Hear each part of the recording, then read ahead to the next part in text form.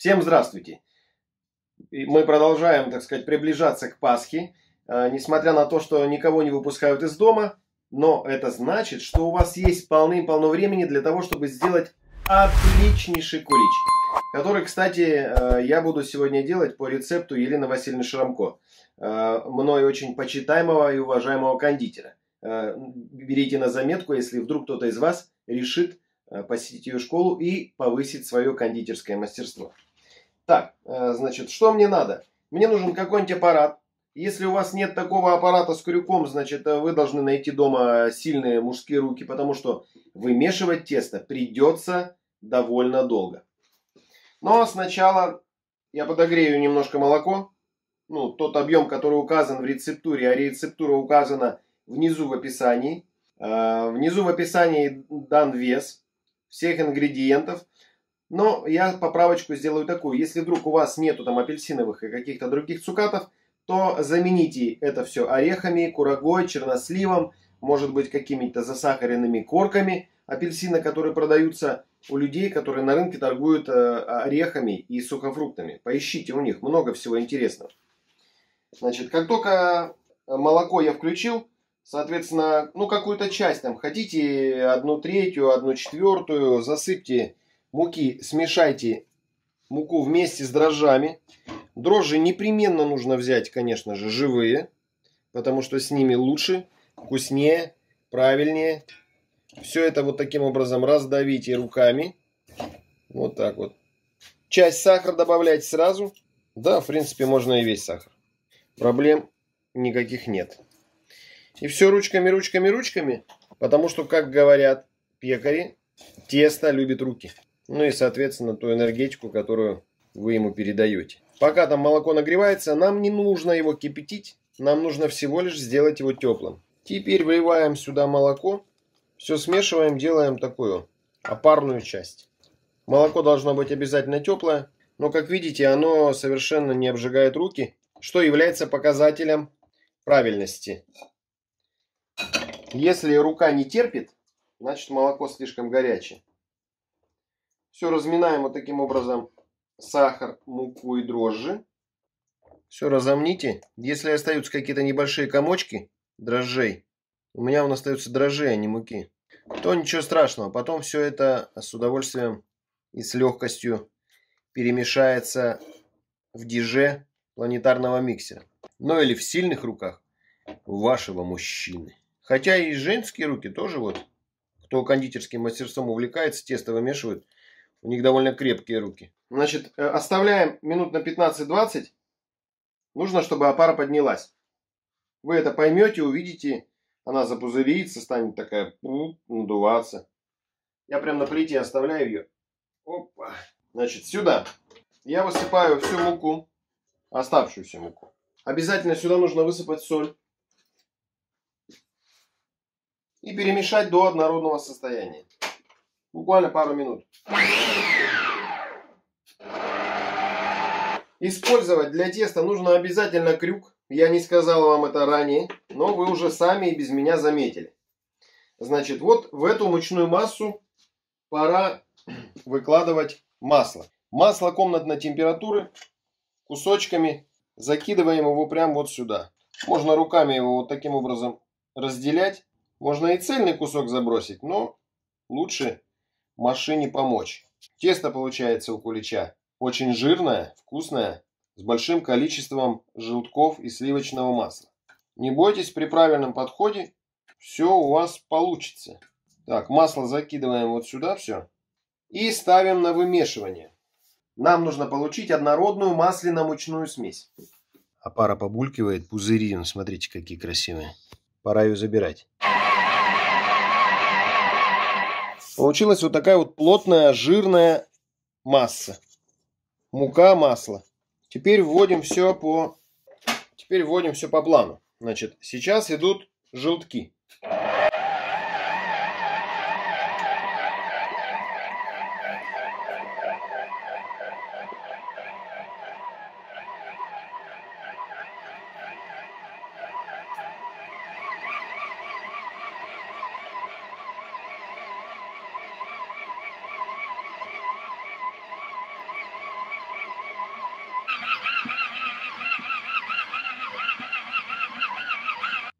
Желтки в дежу и смешиваем все крюком до однородного состояния. Когда желтки объединились с масляным тестом, посмотрите, вот такая получилась субстанция. Значит, теперь пора сюда отправлять опару. Все вымешиваем, вымешиваем. Ну, в случае без комбайна, да, придется все это делать руками.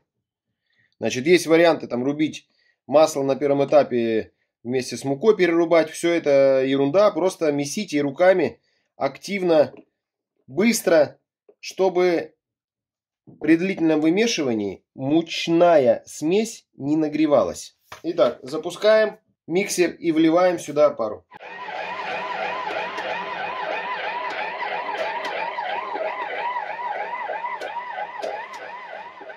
Все нужно вымесить до однородного состояния. Фишка кулича в том, что его нужно сильно-сильно вымесить. Когда подойдет время, я вам покажу. У каждого разные скорости, в том числе и скорость комбайна, скорость рук и так далее. Я вам сейчас покажу, какое должно получиться тесто. А пока что нужно просто помочь миксеру. Вот. Даже миксеру нужна помощь. Вместо цукатов я использую изюм. Потом вот такие засахаренные кумкваты, вяленый ананас, грецкие орехи, шоколада здесь где-то 230 граммов. И засахаренные апельсиновые корки. Они тоже, кстати, я их купил э, у торговца орехами и сухофруктами. Так что вот это можно использовать, если у вас нет рецептурных цукатов. Вот посмотрите, какое получается тесто. Оно, конечно, нестандартное такое, как бы это правильно сказать, не похожее на куличевое, потому что куличевое тесто всегда более тягучее, более сухое. А здесь вариант, который по проверенным источникам к нам пришел, и возраст ему около 200 лет. Значит, вот оно такое, видите? Но запомните, смысл кулича это как раз в вымешивании. Вымешивание это главный секрет получения хорошего кулича. Теоретически я даже себе представляю, что можно просто туда что-нибудь накидать. Если классно вымесить, то и будет вам счастье. Значит, теперь сюда вводим то, что я называю цукатами, ну или то, что вместо них. Орехи, соответственно, кумкват, все это гораздо вкуснее, чем вот эти вот пресловутые, крашеные, непонятно из чего сделанные цукаты. Я думаю, что требуется устроить флешмоб. И если вы все перестанете покупать крашеные беспонтовые цукаты, тогда их перестанут делать. А? Попробуем? Шоколад. Шоколад в таблеточках я тоже сюда добавлю. А, я использую молочный. Рекомендуется, конечно, какой-нибудь горький или dark черный. Но мне нравится молочный. Теперь, когда я всыпал, значит, вот эту цукатную смесь, назовем ее так, долго вымешивать уже не надо. Нужно всего лишь вмесить туда цукаты и шоколад и все. Ну и, конечно же, влить туда ром. Эй, не в ту сторону крутной. Да, вместо рома я использую коньяк. Нету рома у меня. Ну вот так вот. Дома нету рома у меня. Рома нету дома у меня. Значит, я сюда налил 75 граммов, как и полагается по рецептуре коньяка, и добавил туда ароматизатор ром. Потому что вот этот ароматизатор вместе с коньяком, вот он, я его сейчас нюхаю и хочу вам сказать, что это получается серьезное кондитерское направление. Теперь вмешиваю вначале цукаты, а потом вливаю ром. Ну и как вы видите, только, только все смешалось, вмешалось в тесто. Все, хватит мучить это прекрасное существо. О, шикарно как тянется. О, шикарно как тянется. Все, крюк нам уже больше не понадобится. Теперь лопаточкой все это вынимаем. Шоколад на стенках не оставляем. Еще раз все перемешиваем, смотрим. Вот получается вот такое вот тесто. Тот тазик больше, потому что теперь нужно его отправить на расстойку и дать ему подняться. Чует мое сердце, что права супруга не войдет все это. Ну, вернее, войти-то оно вошло. Просто оно подняться должно там в два раза примерно. Боюсь, что таз этот недостаточно большой.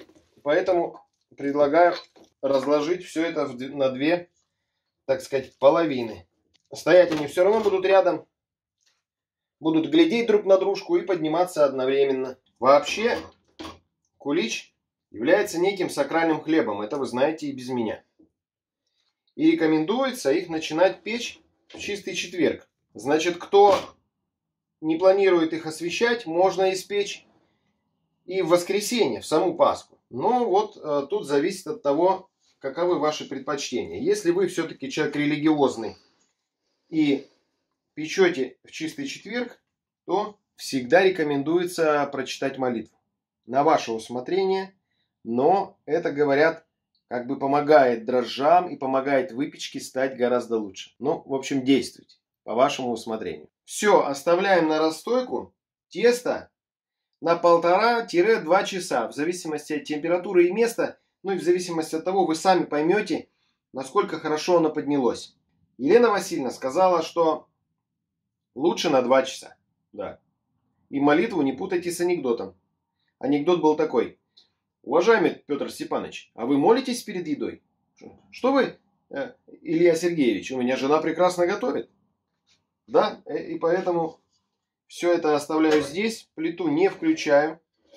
Все, пусть это стоит и себе растаивается. Единственное, что я сейчас ее затяну пленкой. Тесто подошло прям то, что надо. Простояло у меня 2 часа, где-то 20 минут примерно. Ну, вы даже можете поглядеть. Вот смотрите, была половина, то есть ровно в два раза выросло тесто. Вот такое оно стало. Здесь, соответственно, тоже. Вот оно. А, красота. Теперь в легкую обминаем и перекладываем формы. Не нужно бояться того, что тесто немножко не такое, как привычное для вас. Но зато, во-первых, у этих куличей срок годности месяц минимум. Во-вторых, конечно, количество яиц и масла и делают, ну, скажем, в большей степени масло делает работу консерванта, но и вкус получится неожиданный. Выкладываем тесто, значит, чуть меньше половины. Шоколад не расплавился. Он расплавится при выпекании, но останется в своей ячейке, потому что тесто его будет держать.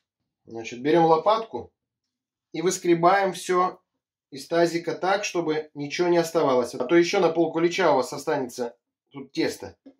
Вот для чего придумана лопатка силиконовая. Если у вас еще нет такой, обязательно приобретите. Вот так вот получается такое блестящее тесто. Ложится в формочки. И сейчас, не накрывая ничем, я его оставляю для того, чтобы оно поднялось. Примерно часик. Вы увидите, когда оно начнет подходить, оно должно увеличиться в два раза, а потом уже отправиться в духовку. Если у вас противень большой, на противень сразу выставляйте, и пусть оно уже на противне созревает. У меня сетка, соответственно, выставляйте куличи сюда, потому что они на сетке прям пойдут уже выпекаться. И если они поднимутся у вас на столе, а потом перетаскивать с места на место, мягкая упаковка, вы нарушите процесс, может произойти опадание. Чтобы этого не происходило, вот сюда вот ставим. И оставляете его при комнатной температуре. Пусть тесто подходит, поднимается, уже, так сказать, в бездвижном состоянии. А далее мы прям вместе с сеткой в духовку. Раз. Да, и э, если у вас стоит на плите тесто поднимается, не торопитесь разогревать духовку, потому что у вас начнет тепло подниматься. Шоколад может расплавиться, если тесто нагреется. Поэтому пусть при комнатной температуре оно поднимется, а потом включите, у вас там сколько, 5-7 минут для того, чтобы нагрелась духовка, и подготавливаете ее. У меня маленькая духовка. Я буду выпекать при температуре 150 градусов. А, и у меня нет конвекции. Если у вас есть конвекция и духовка большая, там немножко по-другому физические процессы происходят. Поэтому рекомендуется 160 градусов. Но в любом случае, пусть пока поднимутся. Куличи подошли. Посмотрите, какие знатные. Супер. Все, пора отправлять их в духовку. Я духовку разогрел. Я, правда, забыл туда поставить термометр для того, чтобы выяснить, какая там температура. Ну, а что делать? Значит, у меня духовка маленькая, поэтому я ставлю на 150 градусов, примерно на 35-40 минут. Здесь нужно ориентироваться и следить, чтобы корочка тесто сладкое, и, возможно, она будет схватываться по цвету чуть быстрее, чем все остальное. Здесь главное не сжечь. Очень аккуратно. Значит, ставлю термометр внутрь для того, чтобы следить за температурой, которая будет внутри. Делаю все на глаз, но рекомендованная для обычной большой духовки с конвекцией температура 160-40 минут. Значит, затем за 5 минут до, э, вы, э, до вытаскивания я сделаю еще глазурь специальную, которую покрою, и на 10 минут отправлю. Посмотрите, что получится в итоге. Так, друзья, день прошел, все испеклось. Но еще не допеклось. Сейчас нужно сделать такую крем-помадку, которую э, я нанесу на куличи и поставлю еще минут на 5-7 в печь. Все ингредиенты будут внизу написаны. Значит, здесь у меня белки. Я высыпаю сюда сахар. Ставлю сразу смешиваться. Ну, вернее, взбиваться. Сразу скажу. Взбиваем до плотной пены, но мягкой, не хрупкой. И потом уже будем домешивать муку. Значит, вот у меня готовая мука. Это кукурузная обжаренная, я ее на сковородочке обжарил. А это обычная пшеничная мука. Я отвесил все по весам, как написано э, внизу в описании. И потом уже лопаткой буду домешивать. Сейчас главное хорошенечко получить нам пену, взбить. Смотрите, что получилось. Вот такие белочки. Стояк полный. Теперь все лишнее отставляю. Значит, добавляю сюда муку и аккуратно лопаткой перемешиваю. Теперь добавляю еще муки и аккуратно смешиваем белок с мукой. Он, конечно, частично падает, но мукой мы его будем стабилизировать для того, чтобы во время запекания у нас, чтобы получилась меренга с легким ореховым вкусом из-за обжаренной кукурузной муки. Так, все, получилось. Однородная масса. Вот такая вот гладкая, ровная. Главное, хорошенечко взбейте белки. Значит, теперь в идеале хорошо бы иметь какой-нибудь пакет. Ну, кондитерский я имею в виду. Срочно нужно достать куличи, которые у меня зарумянились больше, чем я планировал. Дурацкая духовка меня когда-нибудь сведет в могилу с этими штуками. Пока куличи горячие, быстро накладываем в пакет в мешок, куда угодно крем, который еще воздушный. Делать нужно все быстро, потому что иначе все пропало. Шеф, все пропало. Отрезаем кончик и быстренько делаем вот так. Делаем такой, знаете, деревенский вариант. Потому что рецепт уже найден был в современное время, но книга была датирована 200 лет назад. Поэтому Получается все как нельзя хорошо. Вкусно-то как! Еще раз наполняем пакет. Ничего страшного, если у вас все руки будут по локоть в безе. Я надеюсь, у вас найдется в семье кому облизать. Ваши драгоценные руки. Значит, смотрите, что там. То, что осталось, можно потом будет подсушить. А то, что уже есть, сделайте шапочки побольше, для того, чтобы они были покрасивее, во-первых, раз. Во-вторых, самого вкусного жалеть не надо. Теперь опять отправляем все это в духовку на 7-10 минут на ту же самую температуру. Нет, не, не отправляем. А миндальные лепестки. О, обильно вот так вот посыпаем. Можете использовать любые орехи, какие у вас есть. Будь то кедровые, их можно, кстати, раздавить плоскостью ножа, они будут тоже плоские, симпатичные. Но миндаль, вы знаете, да, в выпечке самый главный орех. Можно, кстати, нарезать пекан, кедровый, грецкий. Что у нас там есть? Макадамия, она такая не очень ароматная, поэтому макадамию я, в общем, не рекомендую. И знаете, какой еще очень вкусный и крутой лайфхак есть вот э, в подобных вещах.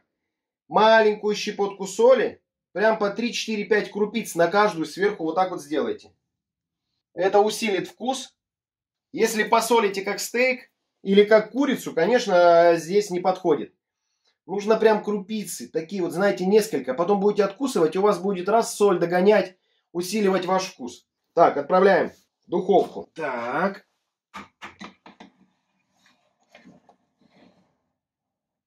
Дурацкая духовка. Честно. Сколько не стараюсь сделать выпечку, каждый раз сталкиваюсь с какими-то проблемами. Пора менять, видимо, все-таки. Буду искать новую духовку. Ну, потому что ужас. Все по времени, все по температуре. Температуру снизил. Зараза загорела. А? Потому что объем маленький. Кулич находится прям вот тика в тику под тенами. Видите, подгорает. Но внутри будет, я вам обещаю, м-м, заглядение. А на вкус просто, просто. Потому что я их уже пек и знаю точно, что это беспроигрышный вариант. Зуб даю на отсечение. Пора доставать. А то моя дурацкая духовка еще и их сожжет. Огнище. Вот эта шапочка в центре больше подрумянилась. Видимо, у меня тен работает криво. В общем, хочу сказать, вот так это получилось. Друзья, но прямо сейчас я не могу его разрезать. Ну, вы понимаете, во-первых, он горячий. Во-вторых, вы обязаны его остудить. Ну и, соответственно, я то же самое. Я оставлю его, э, значит, пишу, Алиса там так гремит посудиной. Жрет. Собачонка маленькая, любимая, жрет. Я оставляю все это вот здесь, при комнатной температуре. Ничем не накрываю. Оставляю на ночь. И завтра утром я разрежу и покажу вам. Но в ролике не видно, что это будет завтра утром. Просто я должен их обязательно остудить, чтобы показать вам, как они выглядят изнутри. Сейчас я буду резать, они будут ну, крошиться, потому что тесто еще масло, оно же жирное, да, оно должно, знаете так, устояться, пузырики все должны остаться, вот все в нетронутом состоянии. Ну и посмотрим. Тем более бумага с, с боков и снизу защищает тесто от высыхания. А, во-первых, все знаете, что куличи подаются в бумаге, да, потом отрезают бумагу, убирают. Есть варианты, когда вы вынимаете из бумаги, но я оставлю так, как есть. Самое время. Самое время его разрезать и посмотреть, что же внутри. Кулич за ночь остыл. Опа! Значит, несмотря на то, что верх и низ немножко прихватились в моей шикарной духовке, все остальное видим. Мякоть мягкая, плотная, жирная, влажная и, правильно, вот этот белочек, он здесь создал шапку. Вот такую вот, да. В общем,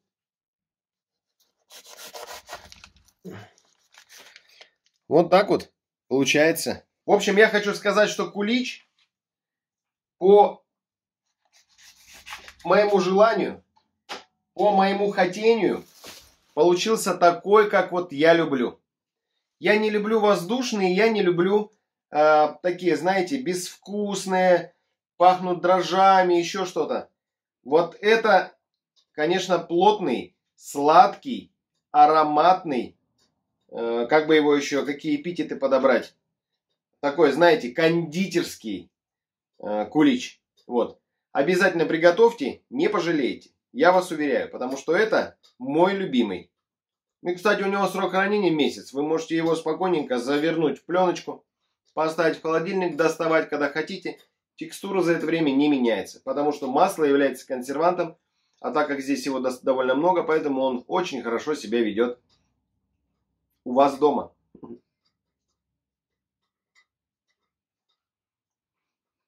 Да, это не просто какая-то там булка с воздухом. Вот это он такой плотный, я еще раз повторю. Но по вкусу я не знаю, с чем сравнить. Если взять какой-нибудь сардеповский кекс, такой, знаете, традиционный, масляный, вкусный, добавить сюда, добавить в него побольше желтков, всяких разных цукатов, вот это, наверное, похоже будет на это, на то. Только кекс обычно быстро высыхает, этот не, быстро не высыхает. А, у меня еще шоколад же здесь внутри. Вот почему он такой вкусный. В общем, я вас поздравляю с праздником Светлой Пасхи.